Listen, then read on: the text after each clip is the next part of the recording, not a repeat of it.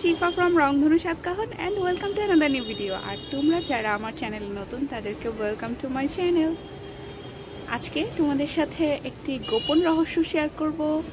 আশা করছি তোমরা খুব ইন্টারেস্টেড জানার জন্য। আসো তোমাদেরকে বলি সেটা কি? সেটা হচ্ছে আমার বাগানের মানে আমার ছাদ বাগানের মেহেদি গাছগুলোকে আমি কীভাবে কালেক্ট করেছি আর এই মেহেদি গাছগুলো এত গাঢ় কালার কীভাবে হয়?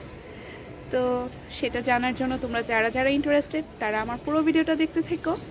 আর আমার চ্যানেলটাকে সাবস্ক্রাইব করে আমাকে সবসময় সাপোর্ট করো।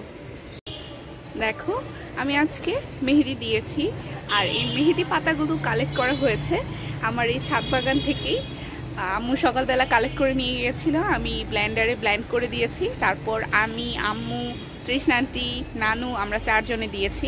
তো আমরা কয়েকদিন পরপরই দিই। মেহেদি পাতা খুবই উপকারী একটা পাতা।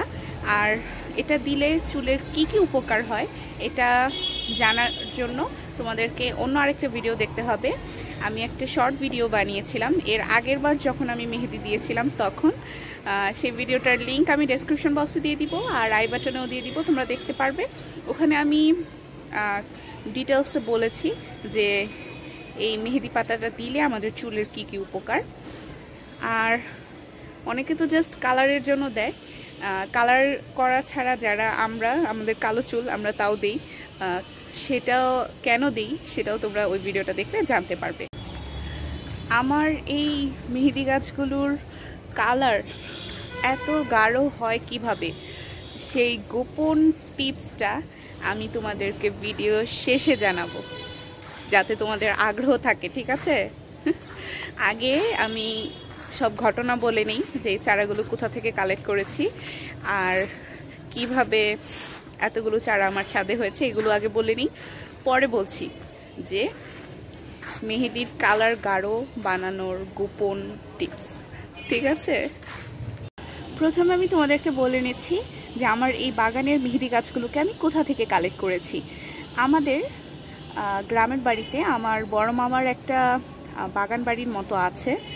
বিশাল একটা জায়গা আছে। ওখানে অনেক ফুল, ফল তারপর অনেক গাছ গাছন্ত গাছ মানে যেগুলো হচ্ছে অনেক উপকারী এরকম টাইপের গাছ আছে। তো ওখানে একটা মেহেদি গাছ আছে। সেই মেহেদি গাছটার পাতাগুলো ছোট ছোট পাতা।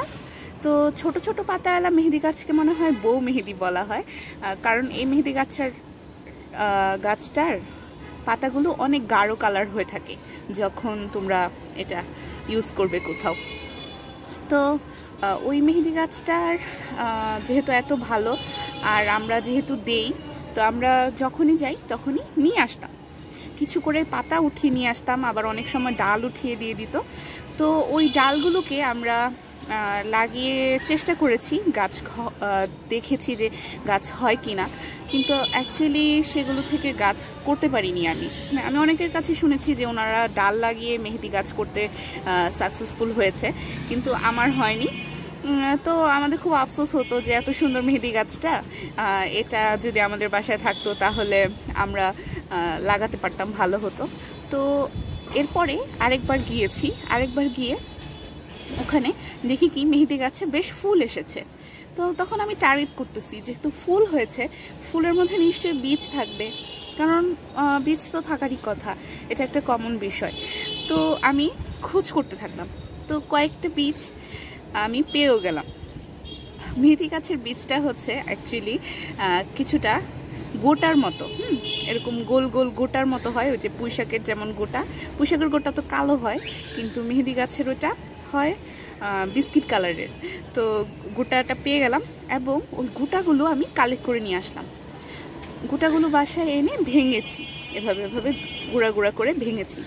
ভাঙার পর উপরের পাতলা আবরণটা, ওই বীজের বা গোটার পাতলা আবরণটা চলে গেছে। তারপর ভিতরে দেখি ছোট ছোট কালচে কালারের চকলেট কালার আসলে অ্যাকচুয়ালি চকলেট কালারের দানা বের হয়েছে। তখন আমার মনে হলো যে মেবি এটাই বীজ। তো সেগুলোকে আমি একটা ছোট পাত্রের মধ্যে বেশ ভারীভাবে ঘন করে দিয়ে রাখলাম। কয়েকদিন পর দেখি কি, ওখান থেকে ছোট ছোট চারা বের হচ্ছে। তো আমার প্রথমে সন্দেহ হলো, এটা কি আগাছাই কিনা? মাটিতে তো আগাছা হয় অনেক দিন থাকলে মাটি। তো আগাছাই কিনা? তারপর আস্তে আস্তে যখন বড় হলো, তখন দেখলাম যে না ওগুলো মেহেদির চারা হয়েছে এবং অনেকগুলো চারা হয়েছিল। আসো তোমাদেরকে দেখাই।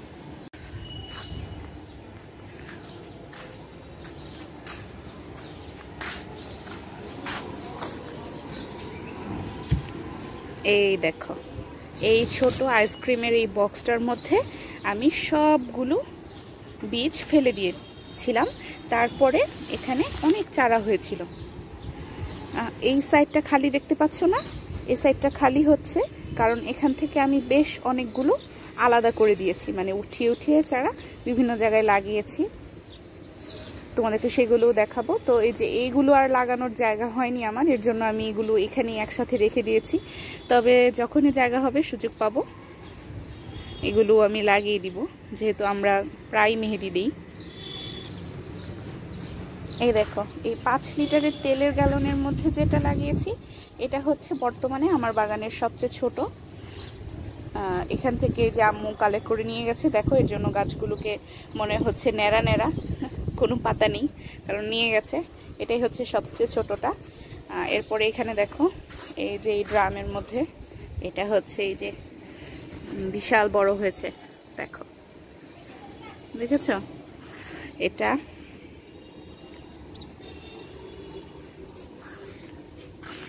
আর এখানে আছে দেখো, এখানের একটা রঙের বালতির মধ্যে একটা আছে, আর এই যে বড় টপটা, এই টপটার মধ্যে এখানে তিনটা চারা তিনটা চারা আমি একসাথে লাগিয়েছি তিন সাইডে এটা বড় হয়ে ছড়িয়েছে। তো এই সবগুলো থেকেই আজকে মেহেদি পাতা নিয়ে গেছি উঠিয়ে, এর জন্য গাছটা খালি খালি লাগছে। আর আরেকটা আশ্চর্যজনক জিনিস দেখো মেবি ওই গোটাগুলোর মধ্য থেকে কোনো একটা গোটা উড়ে এসে এই যে আমি যেখান থেকে পানি দিই, এটা ঠিক পিছনে এখানে হয়তো পড়েছিল। এখানে একটা চারা হয়েছে, দেখো, চারাটা বেশ লম্বা হয়েছে, আমার এই কলের সমান লম্বা হয়ে গেছে। আমার প্ল্যান হচ্ছে এইটাকেই আগে উঠিয়ে কোথাও লাগাবো, যেহেতু এটা মাটি ছাড়া এমনিই হয়েছে। আর যেগুলো আমার মাটিতে আছে চারা ওগুলো পরে লাগালেও হবে। ওগুলো তো মাটিতে সেফভাবেই আছে, কোনো প্রবলেম নেই। এখন ছাদে টোটাল ওখানে তিনটা, দুইটা, ছয়টা হ্যাঁ ছয়টা চারা হচ্ছে লাগানো আছে যেখান থেকে পাতা নেওয়া যায়। আরও বেশ কয়েকটা চারা আমি ছোট ছোট রঙের যে বালতিগুলো থাকে না, ওগুলোতে লাগিয়ে বড় করেছিলাম। বড় করে বাসার সামনে খালি জায়গা আছে না ওখানে লাগিয়েছিলাম, বড় হওয়ার পর কিছুটা। কিন্তু আফসোসের ব্যাপার হচ্ছে ওখানে গাছগুলো হয়নি। গাছগুলো না হওয়ার কারণ হচ্ছে, আমাদের এখানে না প্রচুর শামুক হয়। তো ওই শামুকগুলোই গাছগুলোকে মেরে ফেলেছে। গাছের গোড়া কেটে ফেলে, ওরা মাটিতে থাকে, গাছের গোড়া কেটে ফেলে। তো সেগুলো আর হয়নি। এর জন্য ওখান থেকে আর নেওয়া সম্ভব হয় না। কারণ ওখানে আর নেই, ওগুলো মরে গেছে। মেহেদির কালার গাঢ় করার গোপন টিপসটা হচ্ছে তোমরা ছোট ছোট পাতার মেহেদি গাছ কালেক্ট করার চেষ্টা করবে। এটা হচ্ছে প্রথম শর্ত। কারণ যেগুলো বড় বড় পাতাওয়ালা গাছ না, ওটাকে মেবি জামাই মেহেদি বলা হয়, ওইটা তেমন কোনো একটা গাঢ় কালার হয় না। যেগুলো পাতা ছোট পাতাওয়ালা গাছ, সেগুলো বউ মেহেদি, ওগুলো অনেক গাঢ় কালার হয়। এটা হচ্ছে প্রথম টিপস আর দুই নাম্বার টিপসটা হচ্ছে, গাছের মধ্যে তোমরা চা পাতার সার দিবে। তোমরা চা খাওয়ার পর যে পাতাটা থাকবে, ওই পাতাটাকে ভালোভাবে ওয়াশ করবে। ওয়াশ করে ওর মধ্য থেকে চিনি থাকে আমরা চা বানানোর সময়, ওটা ধুয়ে ফেলবে, তারপর অনেকে দুধ চা খায় সেটাও ভালোভাবে যাতে ধুয়ে ফেলা হয়। কারণ চিনি আর দুধ যদি থেকে যায় চা পাতায়, তাহলে ওটাতে পিঁপড়া হয়ে যাওয়ার সম্ভাবনা, তখন গাছের গোড়ার শিকড় এমনি খেয়ে ফেলবে। গাছ বড়ই হবে না। তো ওটা ভালোভাবে ধুবে, ধুয়ে রোদে শুকাবে। রোদে শুকিয়ে তারপর বিকেলবেলা গাছে পানি দিয়ে তার উপরে ওই চা পাতার যে সারটা, ওটা ছিটিয়ে দিবে। তারপরে সারা দিন থাকবে। তারপর একটু নিড়িয়েও দিতে পারো। একটু নির মাটিগুলো আলগা করে দিয়ে তারপরে পানি দিয়ে তারপরে সারটা দিতে পারো এবং সারা দিন যাবে, তারপরের দিন আবার পানি দিলে তখন ওটা ভিজলে আর কোনো সমস্যা নেই।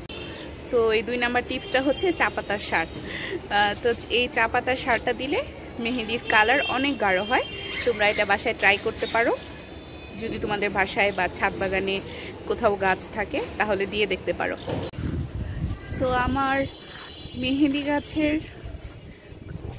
রং গাঢ় করার উপায় এবং আমার এই সুন্দর মেহেদির চারাগুলো আমি কোথা থেকে কালেক্ট করেছি, এই সব কিছু নিয়ে আজকের এই ভিডিওটা ছিল। আশা করছি তোমাদের ভালো লাগল। তো আমার ভিডিওটা ভালো লাগলে ভিডিওটাতে লাইক করো, বেশি বেশি শেয়ার করো, আর আমার চ্যানেলটা সাবস্ক্রাইব করো, আমাকে সবসময় সাপোর্ট করো। তো আজকে বিদায় নিয়ে নিচ্ছি, দেখা হবে সামনের ভিডিওতে।